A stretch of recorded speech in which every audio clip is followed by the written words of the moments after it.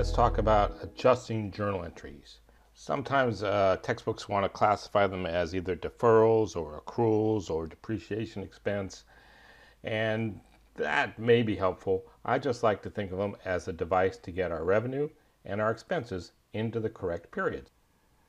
One of the first things we have to make peace with is that nothing really triggers these things to happen. For example, when we sell stock for cash, debit cash for 50,000, credit common stock for 50,000. There was a event that occurred. We sold some stock, we got some cash in, that triggered us to make that entry. Adjusting journal entries often are just a matter of the passage of time requiring us to make a journal entry. So a good accountant will have a list somewhere of adjusting journal entries he or she has to make at the end of every period. For example, let's say we sign a lease for some new space for three months. And the landlord says, the rent is $1,000 a month, but I want you to pay all three months of rent up front. So there's an event that occurs. We write a check for $3,000. So we debit an account called prepaid rent.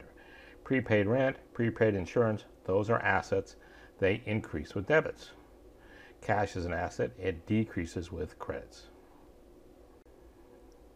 So now June 30th comes along and there's no cash changing hands anymore. There's no actual financial transaction taking place. But we have to remember that we have to use up one third of that three months worth of prepaid rent. So we debit rent expense because expenses are debits, expenses are debits, expenses are debits, and we credit prepaid rent for a thousand. Prepaid rent is an asset, it increases with debits and decreases with credits. So if you looked at our T account for prepaid rent, it now has a balance of 2000 which represents the prepaid rent, prepaid rent for July and August. And we'll make that same adjusting journal entry at the end of July and at the end of August to use up that prepaid rent. A couple things of note adjusting journal entries never affect cash, and they always affect at least one income statement account and one balance sheet account. It's a similar thing uh, as to supplies. So we'll fill up the supply closet by paying, say, $700. So we'll debit the asset supplies for $700 and credit cash. Supplies is an asset, assets increase with debits. Cash is an asset, assets decrease with credits. And but what we won't do is every time we take a pad out or every time we take a pen out, we won't debit supplies expense and credit the asset supplies especially in accounting class, what we'll do is we'll go in at the end of the month, count up how many supplies are left, and then figure out how many dollars worth of supplies we must have used. So on June 30th, we dispatched the intern uh, into the supply closet and asked them to tell us how many supplies are left. So they do an inventory. They discover that there's $400 of supplies left. If we started with 700, and there's only 400 left, we must have used 300. So we debit supplies expense for 300 and reduce the asset supplies for 300. If you looked at a T account for the asset supplies after that adjusting journal entry, you would see that it now has a balance of 400, which is what the intern told us was left. Please note that in this adjusting journal entry, we didn't debit or credit cash, but we did debit one income statement account and credit one balance sheet account. And depreciation expense is another example of an adjusting journal entry. Suppose we buy a piece of, buy a piece of equipment for $24,000 that's going to last us five years. It would be incorrect to book all that $24,000 as an expense in that first month because it's going to last us for 60 months. So what we'll do is we'll debit the uh, asset equipment for 24,000 and credit accounts payable for 24,000. Accounts payable is a liability account any account that has the word payable, accrued, or unearned in it is a liability account. So accounts payable increases with credits. Then if we're going to use the straight line method, we're going to write off 1 60th of that equipment every month. We debit depreciation expense for 400 and credit accumulated depreciation for $400. And in the memo section, we might want to show exactly how we came up with that $400 number.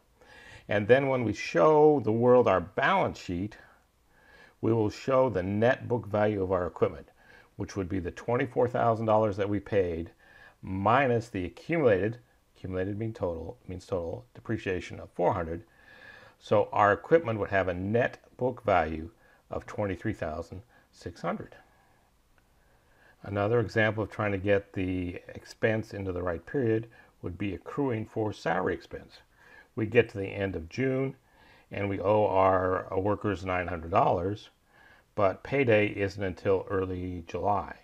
We still want to get that expense because they did that work in June. We want to get that expense into June. So we debit salary expense because expenses are debits, expenses are debits, expenses are debits, and we credit salary payable for let's say $900.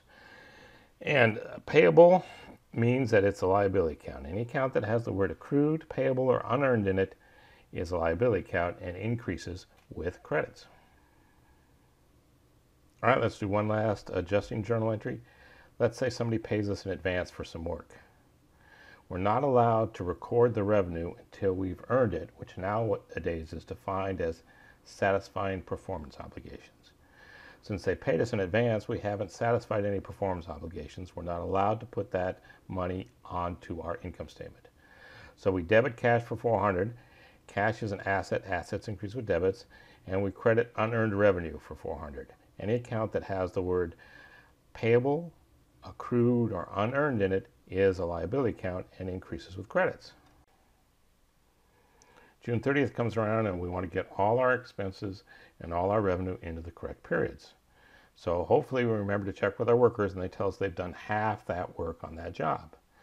So we'll reduce unearned service revenue by $200 and we'll book service revenue of $200. We'll book half of that as revenue because we've satisfied the performance obligation. The account service revenue is a revenue account if expenses are debits, expenses are debits, expenses are debits, the opposite of expenses, revenue, must be recorded with credits. You must remember this. A kiss is still a kiss. A sigh is just a sigh. The fundamental things apply as time goes.